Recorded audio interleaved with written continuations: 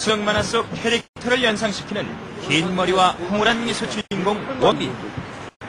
미래력 앞이라면 우정을 배신할 정도로 수많은 승들의 만남이 묵과나는데 하지만 그의 인기 야성에 도전하는 자가 나타났다. 바로 문제의 현장 수호 천사 양생명 CF 촬영장을 함께 살펴보도록 하자.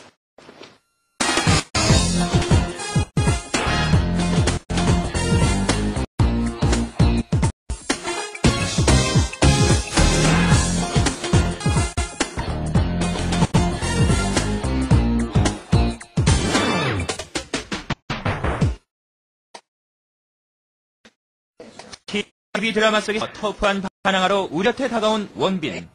그는 CF 속에서도 늦은 밤 여자 기사에 침입해 고백하는 막무가내 학생으로 보냈다. 장소는 서울여대.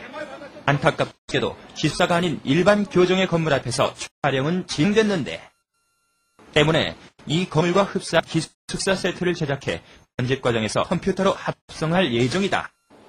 오늘 촬영부는 원빈이 여자 기숙사를 향해 사랑 고백을 하다 경비원에게 쫓기는 장면. 난 너의 수호 천사가 되기로 했다! 왜냐고!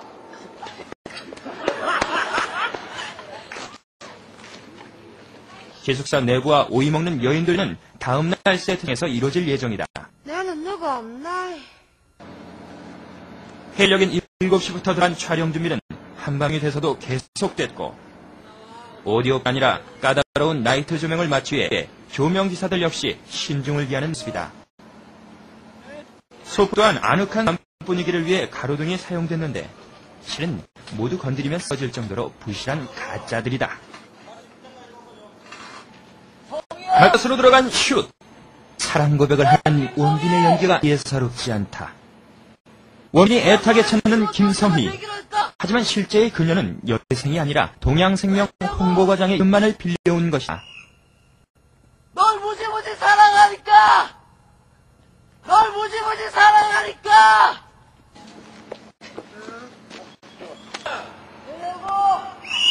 하지만 문제는 지금부터 원빈을 쫓아오는 경비 아저씨의 연기가 어색하게 그지없는 것이다.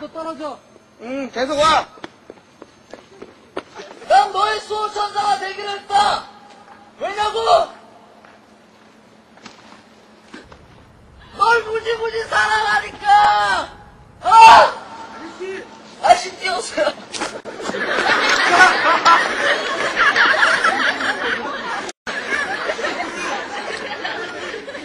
무지, 무지할 때. 조 감독이 감독까지 나서서 연기 지도를 해보지만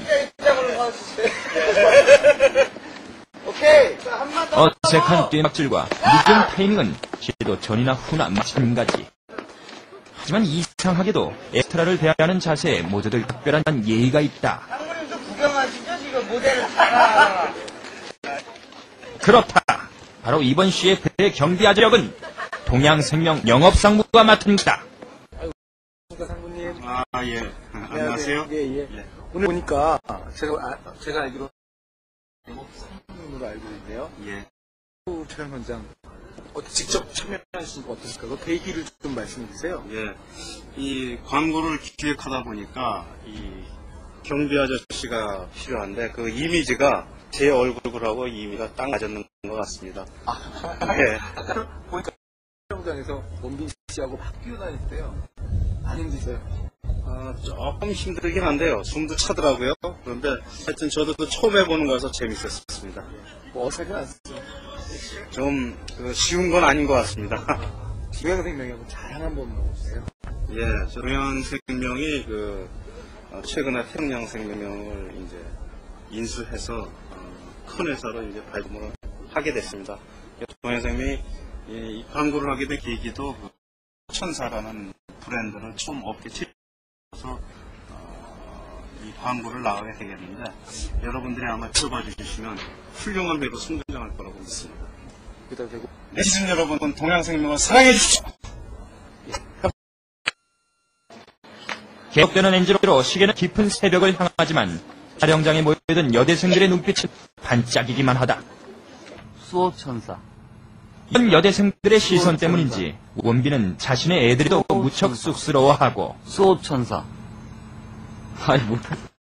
뭐가 뭐. 휴식 시간에도 시의 한 장면처럼 무척 멋있게 쉰다. 코디들 역시 이런 그 곁에서 떠날 줄을 모르는데 하지만 열길 바다속은 알아도 한길 사람은 모른다고 하던가 모인이 님께 큰 환호 이에 자신을 회복한 상무님은 더욱 연기에 몰입해 애드립 연기까지 선보인다.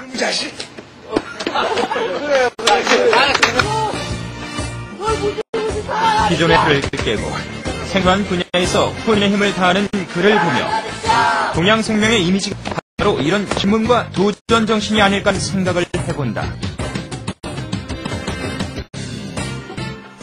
그리고 기존에 지금 커다란 보험회사들이 가지고 있는 이미지의 단점들은 보험회사들 어딘지 모르게 좀 고리타분하고 그리고 나와 거리가 먼 회사다 생각을 하고 있는 부분이 그 장- 단점 중에 하나이기 때문에 이 태어난 10년 정도 된 젊은 동양 생명으로서는 새로운 방향으로 새로운 옷을 입고 보험회사에서 새롭게 한번 시작을 해보는 것이 좋겠다라는 의도에서 이런 광고를 기획하게 됐습니다. 네, 서로가 손사가 되자는 이런 캠페인을 벌임으로써 결국은 동양생명이 수호천사라는 아, 사실 보험, 보험회사로서 본다면 수호천사라는 캐릭터가 참 맞아떨어지는 내용이거든요.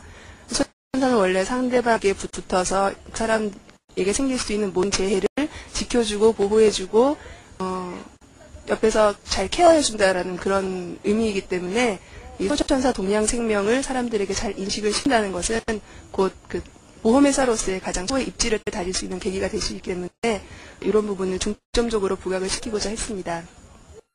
성우야! 야, 김성애! 난 너의 수호천사가 되기로 했어!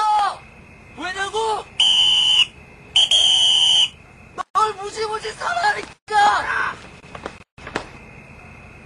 아저씨! 생명다면 수호천사가 되어주세요. 수호천사 동양생명 아, 왜 이러세요, 수호천사한테. 응?